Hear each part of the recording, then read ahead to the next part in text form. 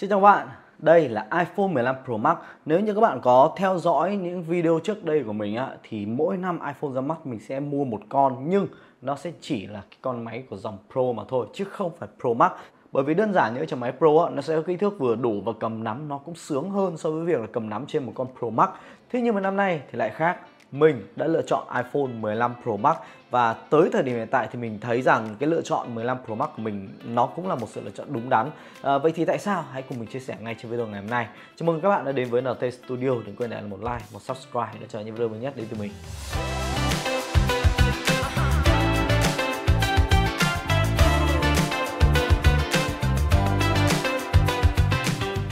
Mặc dù cho năm nay mình lựa chọn iPhone 15 Pro Max và mình thấy đây là một sự lựa chọn đúng đắn, nhưng tất nhiên nếu như các bạn thấy iPhone 15 Pro nó phù hợp với bạn và phù hợp với túi tiền của các bạn thì đấy vẫn sẽ là một sự lựa chọn không hề sai. Và nếu như bây giờ các bạn đang quan tâm đến những chiếc iPhone 15 series thì có thể tham khảo tại 24 giờ store thông qua đường link mình để phía bên dưới phần mô tả của video. Đây cũng là hệ thống đại lý AR của Apple nên các bạn cũng không cần gì phải suy nghĩ cả. À, chỉ có một điều đấy là iPhone 15 Pro Max năm nay á thì cái bản base của nó sẽ bị đẩy cái dung lượng lên là 256 GB và tất nhiên thì cái mức giá của nó vẫn sẽ là tương đương với giá của 256 GB trên iPhone 13 Pro Max chứ không phải là giá tương đương với phiên bản 128 8GB của 13 Pro Max. Nên đây sẽ là một cái điều mà mình thấy Apple hơi điếm một tí nó họ hơi ép người dùng một tí. Còn lại những thứ khác thì mình thấy rằng năm nay cái dòng Pro Max á, nó có cái sự thay đổi nho nhỏ ở phần ngoài ngoại hình nhưng nó lại mang lại một cái trải nghiệm to to ở cái cầm nắm mà chúng ta sử dụng. Bởi vì trước đây khi mà mình chê những con Pro Max á, bởi vì là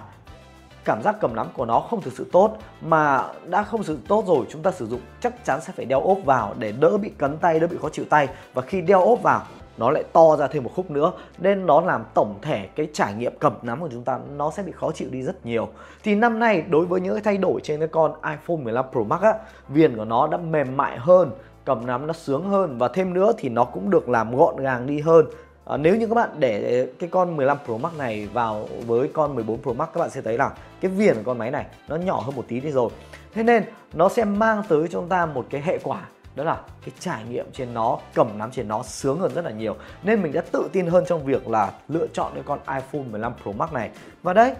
mình dùng không ốp và cảm giác cầm nắm của nó cực kỳ sướng. Và thêm vào đó, trọng lượng nhẹ hơn cũng là một yếu tố giúp cho mình có thể tự tin hơn trong việc lựa chọn cái con iPhone 15 Pro Max của năm nay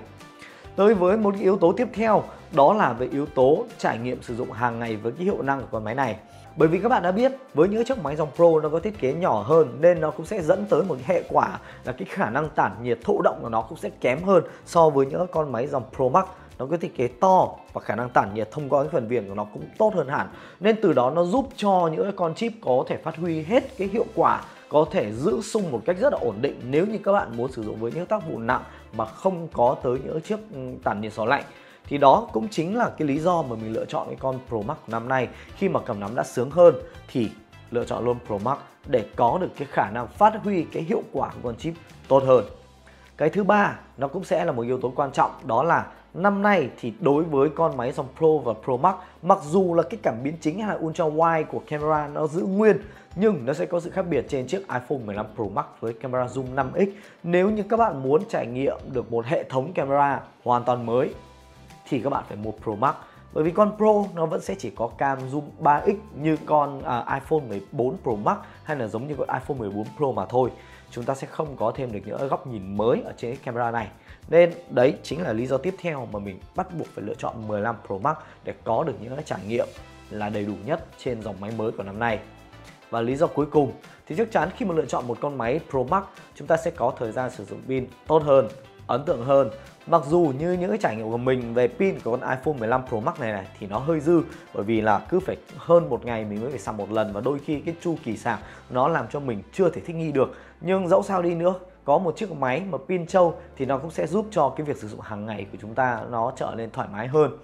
À, đấy có vẻ là hơi lân lẹo đúng không? Tại vì những năm trước đây mình là một trong những lý do mình không mua Pro Max bởi vì là pin nó quá trâu Mình không thể nào mà sạc vào buổi tối được bởi vì buổi tối nó vẫn còn đâu đó khoảng tầm 30% pin thì năm nay mình lại bảo ừ, như thế nó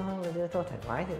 lươn lẹo, đúng không? Nhưng không sao. Đấy vẫn sẽ là những cái văn mà mình đưa ra thôi. Còn việc lựa chọn, nếu như các bạn thấy những cái điểm mà mình đưa ra mà hợp lý thì các bạn cũng có thể tham khảo và lựa chọn luôn chiếc iPhone 15 Pro Max. Bởi vì năm nay, như mình đã nói, nó có rất nhiều những cái thay đổi để có thể mang tới cho chúng ta những cái trải nghiệm trọn vẹn hơn so với Pro Max của năm ngoái